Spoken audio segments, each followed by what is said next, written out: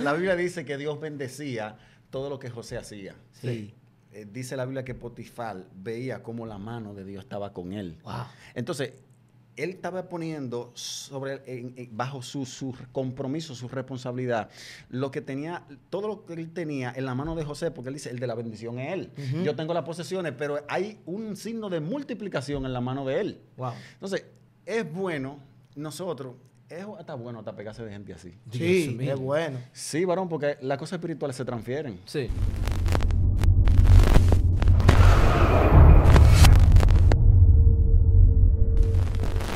Dios te bendiga. La paz del Señor Jesucristo esté contigo y los tuyos. Para nosotros es más que un honor, es más que un privilegio que usted esté conectado en esta plataforma Excelencia Cristiana Televisión de tu segmento saliendo del anonimato. Quien te habla es tu hermano y amigo Cristo Felaria. En el día de hoy nos sentimos más que contentos, más que bendecidos. Inicia una semana llena de bendición, una semana llena de cambio y de prosperidad. Un nuevo año para cada uno de nosotros. Como siempre traemos invitado. En el día de hoy es un profeta, es un joven que sé que tiene una palabra poderosa. Dios lo marcó para este tiempo. Es un hombre que el Señor lo ha de usar, lo ha de bendecir de una manera extraordinaria.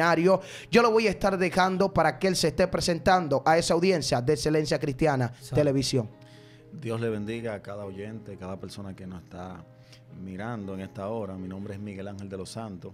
Eh, vengo de los Alcarrizos, mi pastora Fiol Mejía. Y estamos aquí para compartir la palabra de Dios que creemos y sabemos que será de bendición para cada uno de nosotros. Amén, amén. Qué bendición de verdad que sí tenerte por aquí. Los Alcarrizos es una tierra de aquí de República Dominicana donde hay profetas, mujeres del corre-corre. Hermano, una locura lo que Dios está haciendo en los Alcarrizos. Bendecimos a esa gente de allá. Que el eterno Dios le bendiga de una manera especial. Pero como siempre, no estamos solos. Estamos acompañados de un hermano, un amigo. Yo soy, como dijo Juan el Bautista en una ocasión, no soy digno de desatar el calzado. Yo simplemente soy Juan y abro el camino para que los Jesús vengan detrás. Yo simplemente soy un simple siervo, pero estoy hablando de mi hermano y mi amigo, el profeta, una persona a quien admiro y respeto bastante, mejor conocido como el profeta, el chino, Dios Dios mío. mío te bendiga, de verdad que sí. Bendigo a Miguel Ángel, una hora de estar aquí en cabina. Amén. Bendigo la vida de todo aquel que está conectado en esta plataforma. Sé que será de mucha bendición, así que aproveche este cinturón, respire profundo, porque vamos para agua profunda. Así sin más en el mismo tenor, le estaré pasando el ministro para que así esté iniciando. Fuego. Amén. Gloria al Señor, aleluya. Vamos a tener una lectura aquí en el libro de San Lucas, capítulo 21, la ofrenda de la viuda. Wow. Eh, dice así la palabra del Señor, en el nombre del Padre y del Espíritu Santo. Amén. Amén. Levantando los ojos, vio a los ricos que echaban sus ofrendas en el arca de las ofrendas. Wow. Vio también a una viuda muy pobre que echaba allí dos blancas. Y dijo, en verdad os digo que esta viuda pobre echó más que todos, porque todos aquellos echaron para las ofrendas de Dios de lo que les sobra, mas esta de su pobreza Santo. echó todo el sustento que tenía. Amén. Wow. Gracias a Dios por la palabra. Gracias. Bendícenos, Señor. Síguenos bendiciendo en el nombre poderoso de Jesús. Amén. Bien, vamos a estar compartiendo breves minutos Wow. bajo el tema ¿Cuál es tu ofrenda? Santo. Wow. ¿Cuál es tu ofrenda? Dios mío. ¿Cuál es tu ofrenda? Santo. Eh, como acabamos de leer, la Biblia dice, gloria a Dios, que había un escenario en este capítulo de la Biblia donde estaban ofrendando y eran ricos, dice la Biblia. Dice que estaban ofrendando y cuando estaban ofrendando, al Señor le llamó mucho la atención que la ofrenda Santo. de ellos era de lo que les sobraba. En medio de que ellos están ofrendando, de que están dando de lo que les sobra, aparece una viuda. Sí. Y cuando aparece esa viuda, dice que era muy pobre. Wow. Wow. Cuando dice muy pobre, podemos decir, cambiar esa palabra y decir, estaba en miseria. Sí. O sea, tenía muy poco, podía ser para ya morirse, muy poco, dos blancas, Wow. algo muy poco, muy poco. Entonces, la Biblia dice que cuando ella ofrendó, el Señor agarró ese escenario Sí. Para dar una enseñanza y dar un mensaje a un, a un público que estaba, que estaba desviado, que estaba incorrecto su corazón Sí. delante de Dios. Wow. Entonces, la Biblia dice que ella, el Señor tomó ese momento y dijo, paró. A mí me parece que se pararon los aires. A mí me parece que todo el mundo cuando es como si él pidiese un momento, atiéndame, yo quiero decir algo. Y todo el mundo paró de ofrendar, todo el mundo, eso fue Wow. un escenario para Dios entonces darle en el lado donde no estaba ajustado su corazón hacia lo que era eh, lo que era el, el- el emparentarse con Dios.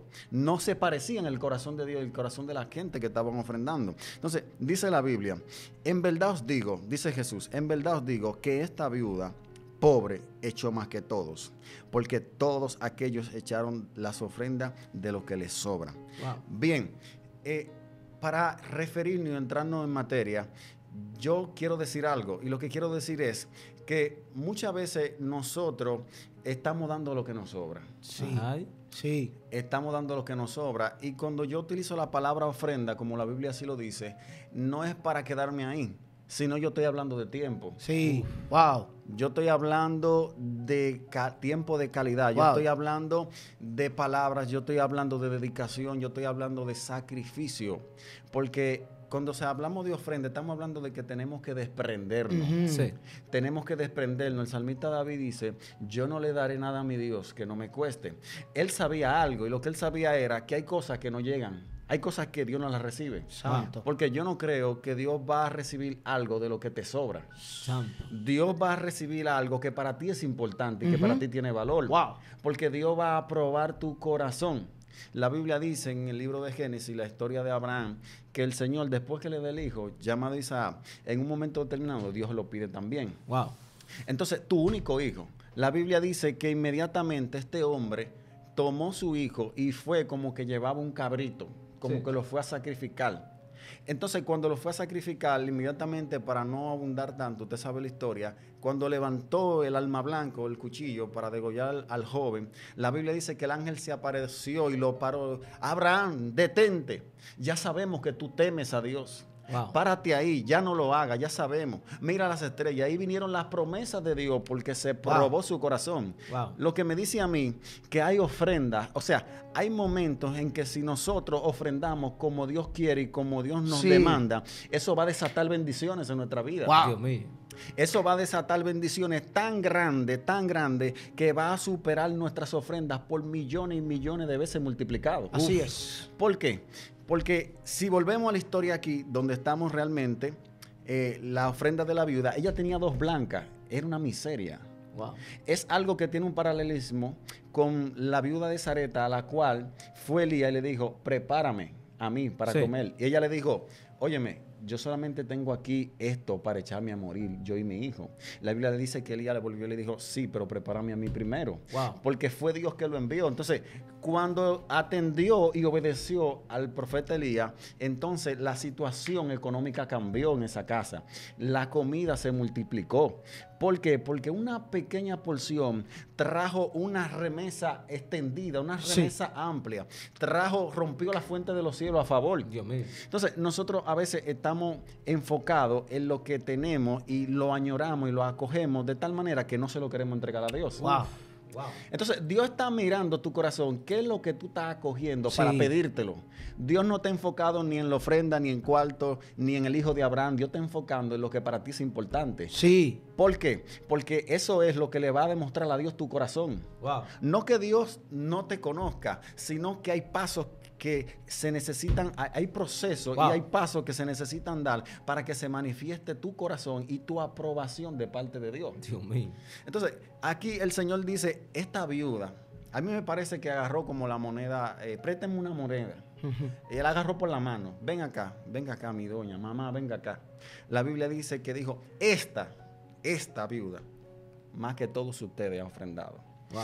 Porque ustedes, aunque lo multiplican, eso a ustedes no les cuesta nada, ustedes no lo están sintiendo. Después, a mí me parece que Cristo hablando, ¿verdad? Para parafrasear, Sí. dijo, eh, ustedes saciaron todas sus necesidades, ustedes pagaron el carro, ustedes pagaron el internet, Sí. Wow. ustedes echaron alcancía, ustedes fueron al banco, ustedes eh, guardaron por ahí, ustedes compraron los muebles. Wow. Y cuando les sobró, entonces ustedes se acordaron de mí. Santo. Uf. Pero la viuda, aleluya, no tenía más opción. Entonces, era pes- era, eh, eh, tenía un peso la ofrenda de ella tan fuerte que fue vista más que todo, toda esa riqueza que estaban echando allí los ricos. Wow. ¿Por qué? Porque eso era para echarse a morir. Nadie quiere dar lo único que tiene. No. Todo el mundo quiere dar la mitad, todo el mundo quiere dar lo que le sobra, todo el mundo quiere asegurarse. Nadie quiere quedarse sin nada. Me aseguro yo primero. Pero hay momentos en que Dios te va a pedir lo único que tú tienes. Sí. Wow, Dios mío. Hay momentos que Dios te va a pedir aquello que para ti es importante y que está ligado a tu corazón. Para Dios entonces, si tú obedeces, entonces Dios se posicionará en tu corazón y Él será el Dios rey y Señor mío. de tu vida. Y de ahí para adelante la historia cambiará. Pero Dios no puede bendecirte ni puede hacer cosas grandes cuando el primer lugar no lo tiene Dios, lo tienen Wow. las ofrendas. Repítelo. Se fueron. Wow. ¿Por qué? Porque las ofrendas no son tuyas, son de Dios. Entonces, si tú no das lo que no es tuyo, Ay. ¿qué tú vas a hacer con lo que es tuyo? Ajá. Eso es lo que la Biblia enseña. Entonces, debemos de ser fieles en las cosas pequeñas para que se nos entreguen las grandes. Wow. Uf. Hay gente que está viendo pequeños escenarios donde tiene que desprenderse y lo está quemando el examen. Santo. Por eso el tema es, ¿cuál es tu ofrenda? ¿Cuál es tu ofrenda? ¿Cuál es tu ofrenda? Porque la ofrenda que Dios te está pidiendo es la real ofrenda. Tú no puedes hacer ofrenda, porque hay ofrendas que son las que Dios, las que Dios, las que van a desatar las bendiciones, las que Dios Sí. está pidiendo, las que el cielo señaló. Tú no puedes estar eligiendo eh, ofrenda a la loca, que no llegan ni, ni al cielo raso. ¿Por qué? Porque esas ofrendas no mueven ni a los ángeles, no mueven a nadie. Las ofrendas que mueven a Dios son las ofrendas que Dios está pidiendo y las que Dios está tratando Wow. contigo, las que el Espíritu Santo te está ministrando. Wow, cuando wow. te dice, despréndete de esos mil pesos y dáselo a fulano. Ay. Lo piensan dos veces. Dos nada más. Eh, mira, eh, agarra esos muebles y llévaselo a fulano. Y los muebles, tú lo que tienes son tres meses con ellos, están enteritos. Wow. Agarra, tú tienes dos vehículos y un motor. Agarra ese motor y dáselo a fulano. Y cuidado si le cobra. Dice, oh, pues, entonces tú quieres ir a vender a la mitad de precio. Dije para ayudarlo, pero yo te dijo que se lo dé fue. Ay. Entonces, nosotros no vamos a engañar a Dios ni a nadie. ¿Por qué? Porque cuando realmente tú haces lo que Dios te está pidiendo, el cielo se mueve a tu favor. Cuando el cielo no se está moviendo, revísate. Sí. ¿Cuál es tu ofrenda? ¿Cuál es tu ofrenda? Porque la ofrenda que Dios reconoce es la ofrenda que Él señaló y que Él te está pidiendo, con la cual tú estás teniendo batalla. Wow. Entonces, sal de esa batalla y suelta lo que no es tuyo, para que venga la multiplicación, para que venga la abundancia, para que se rompan las fuentes de los cielos. Entonces se ve en ti una bendición, aunque la gente no conozca cómo está tu bolsillo. Wow. Ay, santo. Dios mío. Porque la bendición que nos acompaña a nosotros es esa gracia que hace que todo se te pegue, que la gente se desprenda, que, la- que, que todo sea como el imán. Entonces, a mí me asegura más esa que tener 500, eh, vamos a decir 5 mil pesos en los Sí, bolsillos. sí. ¿Por qué? Porque el favor de Dios es lo que va a me asegura a mí que cuando se gasten los recursos van a venir más. Uf. Entonces yo debo de, de dejar de confiar en, la, en, en- en- en aquella persona o en aquella entrada que tengo y saber que es la gracia que tengo, que donde quiera que yo esté, yo seré prosperado, Wow. yo seré suplido, me va a acompañar, Dios no me, deja, no me dejará morir, yo voy a ver promesas como Abraham, a mí se me van a multiplicar, Wow. con, aleluya, con un número bien grande lo que yo tengo hoy. No importa que sea poco o mucho, lo que va a caer sobre lo que yo tengo es la mano de la multiplicación. Uf. Es la mano de Dios para multiplicarse. Entonces, la Biblia dice, gloria al Señor, el Señor continúe bendiciendo, vamos, ¿verdad?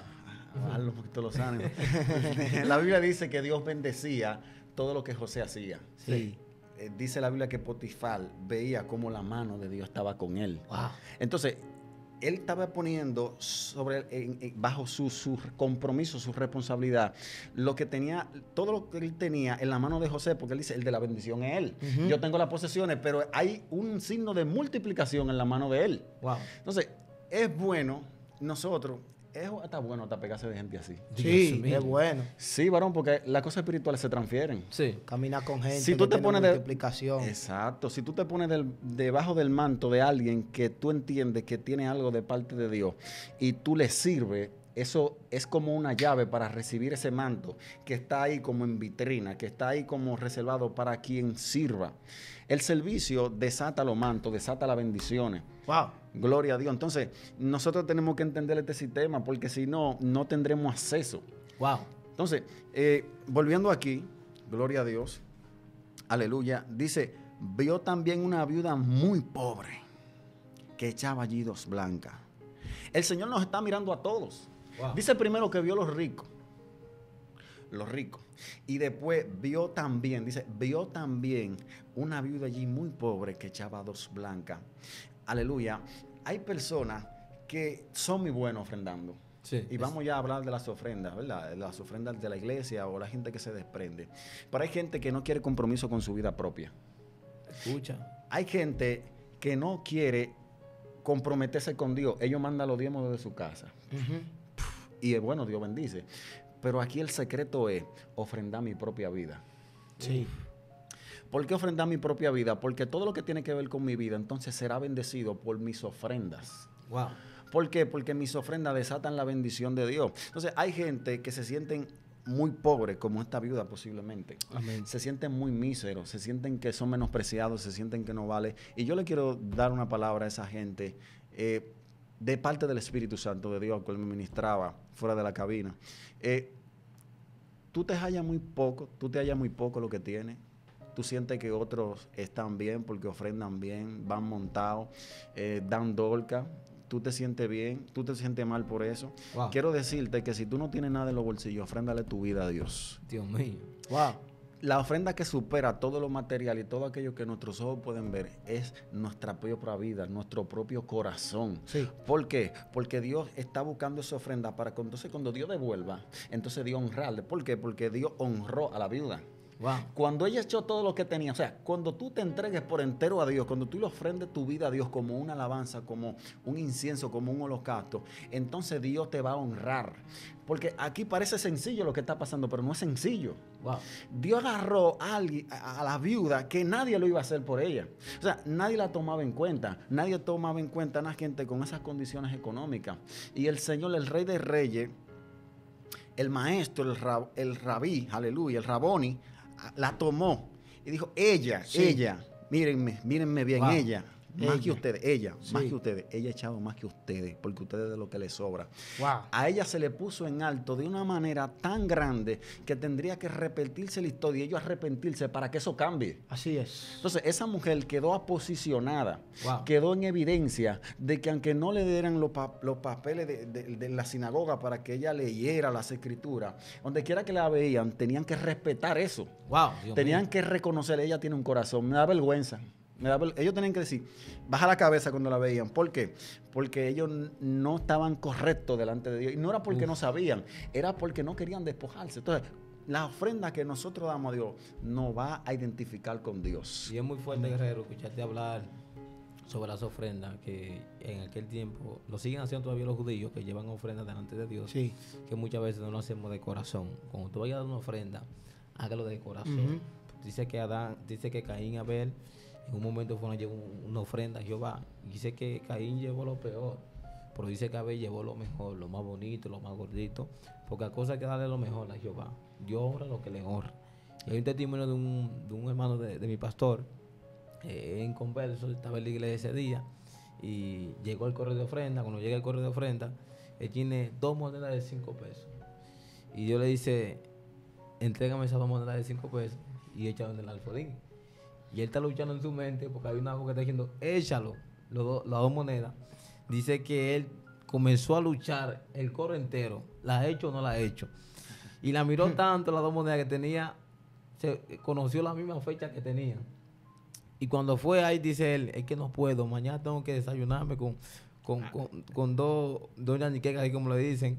Eh, y dice "Es que no puedo, ¿cómo me voy a desayunar mañana? Tengo que ir a trabajar. Y está luchando, mientras de repente fue, y estaba ahí luchando, y le echó. Se fue. Y comenzó a batallar y dice, wow, los últimos que tenía. Dios mío, ¿qué voy a hacer mañana cuando vaya a trabajar? Y cuando amanece el otro día, dice que se fue a cepillar Sí. que abre la puerta, de repente escuchó dos monedas que sonaron. ¡Plam! En la puerta. Cuando él abre, encontró sus dos monedas que él echó Con la misma fecha.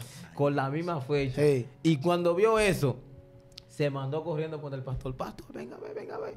Jehová me mandó mis dos monedas. Lo que pasa es que Jehová no recibe cosas que no es de corazón. Dios no es miserable. No. La gente tan miserable Sí. delante delante de lo peor. Si Jehová te está pidiendo algo, escucha esto, Jehová te lo va a recompensar y te lo va a multiplicar. Dice que él lo, lo echó con un dolor de cabeza con su alma. Y Jehová dijo, toma tus tu dos monedas. ¡Pam! Miserable. Sí. ¿Cuánta gente miserable? Que mire, hay otro. Así que Dios le va a mucho. Sí, mira, hubo uno.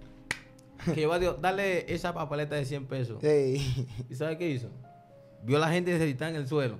Dijo, ¿quién se lo va a dar? Yo. pero no yo. Dice que agarró, se montó en su motor. y, aga- y yo agarró esa papel, una papeleta, se estalló en la cara.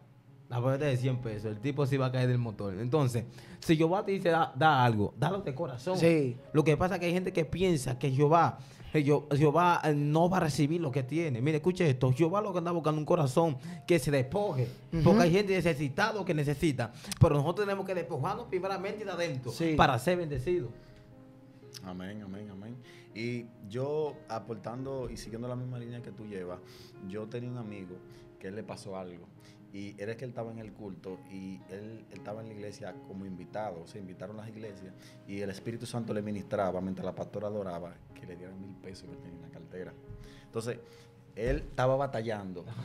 Eso sí es batalla, bueno, peleando sí. con Dios, ahí, peleando con el Espíritu Santo, pelea con el Espíritu Santo. Al final que no lo dio. Cuando él salió, que él mismo me lo testificó, cuando él salió, lo atracaron más para adelante. Dios mío. Entonces, yo creo que nosotros estamos siendo probados, no desde ahora, desde hace mucho, nosotros estamos siendo probados. A veces no es lo cuarto, a veces no es la ofrenda, a veces es que nosotros tenemos que pasarle ciertos exámenes a. Dios. Uf. Y nosotros a veces lo estamos quemando. Eh, nosotros debemos entender algo. Yo quiero que los que están escuchando esta plataforma presten mucha atención. Eh, mire algo.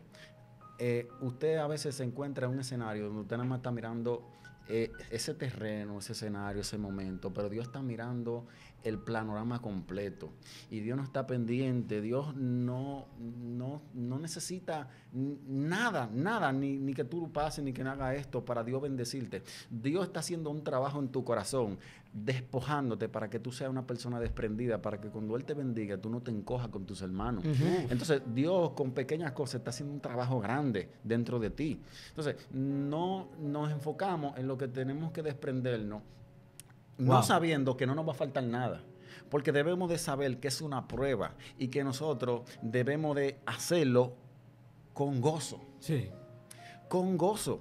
¿Por qué? Porque lo que nos va a nosotros pasar a otro nivel y a otra etapa con Dios es que ya pasemos ese examen. Santo. Es que ya le entreguemos esa área a Dios, porque nosotros estamos resistiendo a Dios. Sí. Ay. Nosotros estamos resistiendo a Dios. Entonces, es como el pleito de, de- de verdad, la piedra y el huevo. Sí. ¿Cuál usted cree que va a ganar? Porque uno debe de, ana- de analizar las cosas, no por el momento. Si piense, eh, eh, ¿qué va a pasar en 15 días? ¿Yo podré, con- ¿Yo podré vencer a Dios?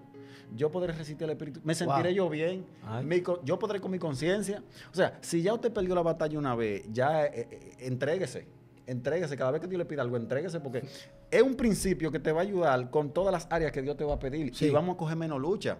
Tú vas a durar menos tiempo en el proceso. Varón, y, y Dale. disculpa que te interrumpa. ¿Cómo tú sientes que Jehová quiere que tú te despojes de algo? Porque hay gente que no está mirando aquí. Sí. Y quizás hay una confirmación, no sé, o una corriente Sí. o algo, una voz. dime, Despójate. ¿Cómo tú sientes que Jehová quiere que tú te despojes? Hay muchas formas de Dios decirnos a nosotros que nos despojemos. Está cuando el Espíritu Santo está tratando contigo internamente Sí. de que lo dé. Ahí tú no escuchas voz, ni por fuera ni en el corazón. Es un trato. Tú no escuchas que Dios te está diciendo, da tanto. No, no. Dios te pone ese sentir. Sí. El Espíritu Santo por dentro. Ahora, hay otro canal que es cuando el Espíritu Santo te dice, dale tanto a fulano, por dentro. Porque Sí. nosotros tenemos el Espíritu Santo por dentro y no podemos ignorarlo. Entonces tú escuchas claramente. Otra forma es, bendito sea el nombre del Señor, posiblemente tú estás en la iglesia o vas caminando en el parque, hay una gente que tiene hambre, hay una gente que está parado ahí. No te voy a decir que aparenta que esté en miseria, posiblemente ni aparenta que esté en miseria, posiblemente tiene unos zapatos más caros que los tuyos, pero de pronto tú escuchas una voz, Hey.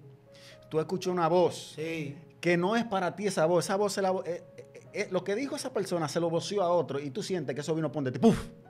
Y cuando eso vino por de ti fue que el, el Espíritu Santo agarró esa voz, esa onda sonora en los aires y la trajo. Dáselo. Exactamente. y tú, en medio de tanto ruido y en medio de tanta bulla, tú no me escuchaste esa voz. Sí. Bárbaro, Dios te está hablando. Criminal, Dios te está hablando, porque no es que no te va a venir y que con voz audible, como de trompeta, como de trueno. ¡Dáselo! No. Entonces nosotros, nosotros tenemos que morir en nuestra humanidad, porque entonces después que entendemos que Dios no está hablando de otra batalla, pues él está más bien que yo. Dios mío. Sí. Ah, pero mire, el tiempo tiene un carro y que Dios me está diciendo que le dé mi cuarto, pero Jehová, pero tú viste el sacrificio en que yo me gané tu cuarto. Exactamente. Entonces, Dios prueba muchas cosas. Cuando Dios a veces hace eso, en el- cuando es contradictorio, que la persona se ve bien o la persona tú no la conoces, eh, no te concuerda, pero tú sabes que Dios te habló. Claro. A veces, a veces Dios quiere que tú empieces a creer a cuando Dios o el Espíritu Santo te está hablando a ti. ¿Por qué? Porque muchas veces nosotros entendemos que la conciencia. Muchas veces nosotros nos hacemos lo loco. Entonces, tiene que venir alguien siempre hablando de parte de Dios por fuera para nosotros entender que Dios nos está hablando. Wow. Porque llega un momento que ya no sabemos si es Dios, si es nosotros, si es el diablo o qué. Pero cuando tú te desprendas, tú te vas a dar cuenta que fue Dios que te habló. Sí. Entonces tú vas a tener esa batalla mientras tú no te desprendes. Cuando tú te desprendas, tú vas a sentir, tú vas a sentir como un confort. Tú vas a sentir gozo. Tú vas a sentir una complacencia. Tú vas a sentir que Dios está contento contigo porque hiciste la voluntad de Dios. A lo contrario de cuando tú no te despojas, que tú sientes que tienes una deuda con Dios. Sí, sí, y más fuerte cuando tú estás ahí que Jehová te dice, dale eso a fulano, dale esos mil pesos, porque muchas veces yo estoy en, en la iglesia gozando, me voy con él, me voy con él. Cuando estoy ahí, siento como que la voz comienza a hablarme. Christopher, dale eso a fulano. Sí. Jehová, pero tengo que ir mañana a trabajar, ¿con qué voy a ir? Dale eso a Es fulano. una locura, Pero- y estoy ahí, y esto es como un dolor de cabeza, ahí, te sientes inquieto.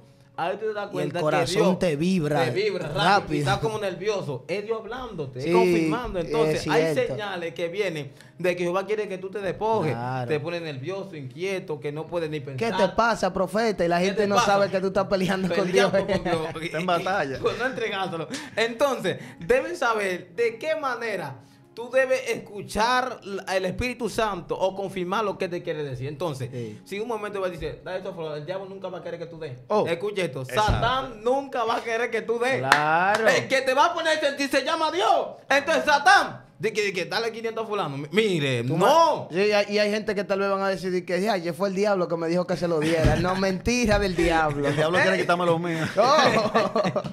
Entonces, debes ser sabio. Siempre Dios que te va a poner a sentir de que tú le des algo a fulano. Sí. De que hay veces, hay muchas veces el pastor da testimonio, que muchas veces está en la iglesia y tú tienes 500 pesos, pastor tiene 500 pesos la cartera y le va a dejar en la casa para mañana. Y, y Dios le dice, agarra los 500, él lleva la cartera. Y dice, ok, no hay problema. Bueno, llevo los 500. Dios le dice, mira, ahora cuando termine el culto, jala fulano y da los 500 pesos, que no tenía para hacer cena a su familia. Y el pastor se fue en grito.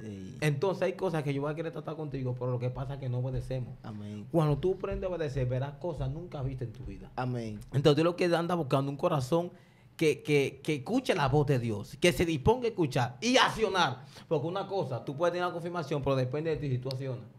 Exactamente, exactamente. Entonces, eh, estamos casi concluyendo, eh, recordando que el tema es cuál es tu ofrenda. Sí.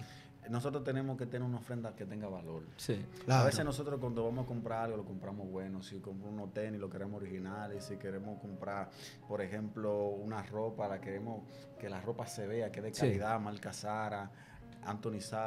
Entonces cuando se trata de Dios, nosotros tenemos que tener algo bueno. Wow. Tenemos que tener algo con valor porque nosotros somos representantes de Dios.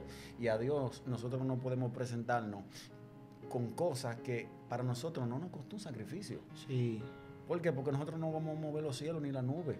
Sí. Nosotros no vamos a mover a, a Dios. Cuando una gente eh, que, eh, se mueve con nube de Dios, se mueve con gloria, se mueve con, con- como Dios como amigo, es porque esa, esa persona le probó a Dios que va a todas con Dios, que es amigo de Dios. O sea, le dijo a Dios, yo, yo, yo lo entrego todo por ti. Amén. Yo voy por ti. Dime, ¿qué tú quieres que te dé? Pablo dijo, yo lo tengo todo por basura. Sí. Entonces hay gente que deben de cambiar de mentalidad y de posición. Uf. Porque para pasar al otro plano ya es tiempo de que nosotros salgamos de cierta batalla. Wow. Es tiempo de salir de la batalla, sal de la batalla ya. Para que Dios entonces haga contigo. Tú quieres que Dios te use, tú quieres que Dios te bendiga. Entonces entrega, despójate, despréndete, haz lo que tienes que hacer, obedece al Espíritu Santo ciegamente y tú vas a ver cómo tu casa, el Espíritu Santo se va a acomodar ahí. Dios mío. Tú vas a sentir como en tu ministerio el Espíritu Santo va a fluir, porque Dios honra lo que le honra, como decía mi hermano Sí. aquí. Entonces, ¿cuál es tu ofrenda? Esta viuda dio todo lo que tenía. Wow, tremendo. Hay poca gente que aquí Dios le está poniendo todo lo que tiene. Ay, Entonces, siéntase bienaventurado y dichoso que el Señor, aleluya, nos maneja a nosotros con sabiduría. Ya despréndase, hermano. Ya es tiempo, el Señor lo quiere hacer, el Señor lo quiere bendecir. Amén. Amén, amén. Tremendo, de verdad que sí, mi hermano. eh, la palabra que tú has traído en el día de hoy, cuál es tu ofrenda. Yo creo que muchas personas van a entender este misterio de cuál es su ofrenda. Recuerde algo que usted no le puede dar a Dios, algo que usted no tiene. Y tal vez mucha gente se va a preguntar, Christopher, ¿cómo así? Recuérdese que cuando Caín y Abel, dice que Caín era, eh, era labrador de la tierra, pero Abel era, era pastor de ovejas. Eh, Abel le trajo su ovejita, pero Caín también le trajo su fruto. En pocas palabras, ¿cuál de los dos o qué cosa tú le vas a traer a Dios? Tal vez tu ofrenda es tu tiempo, tal vez tu ofrenda es tu teléfono, tal vez tu ofrenda es leer la Biblia, tal vez, ¿cuál es tu ofrenda? Porque no, no simplemente estamos limitados a que la ofrenda que yo tenga que dar es la misma que tú des. No, no. La ofrenda que dio Caín no fue la misma ofrenda que dio Abel. El problema es cómo estoy dando mi ofrenda, si la estoy dando con el corazón o la estoy dando simplemente por salir de Dios. Porque esto no consiste simplemente yo llevar una ofrenda por monotonía. El diezmo sí es obligado, pero la ofrenda es algo que sale de tu corazón. Escucha esto. El diezmo es obligado, pero la ofrenda es algo que sale de tu corazón. Hay gente que tiene una monotonía de ofrendar todos los días. Hay gente que dice, no, no, cada vez que se recoja el- de cosas de la ofrenda, yo voy y llevo mi ofrenda y llevo mi 100 y mi 200 y mi 300. No, Eh, esto no es cuestión de monotonía, esto es cuestión de que cuando realmente en tu corazón tú sientas ese, ese deseo. Hay momentos que Dios te va a poner en tu corazón echar 100, pero hay momentos que Dios te va a poner echar 2000 también. Ah. Alaba ahora. hay momentos que Dios te va a poner echarlo menudo también, pero hay momentos que Dios te va a poner echarlo entero también. Así que usted tiene que entender esta palabra. ¿Cuál es tu ofrenda, ministro? Así como prospera tu alma, pueda prosperar todo lo que emprende en Cristo Jesús. Declaro bendición, expansión y multiplicación para este tiempo en el nombre de Jesús de Nazaret. Le pedimos a su audiencia que está conectada que se suscriba al canal, active la campanita y ponga debajo de los comentarios la palabra que mal impactó. Y ponga ahí en los comentarios cuál es tu ofrenda. Se despide de usted, su hermano y su amigo Cristo Felaria. Christopher Aquino. Miguel Ángel de los Santos. Y esto fue Saliendo del Anonimato.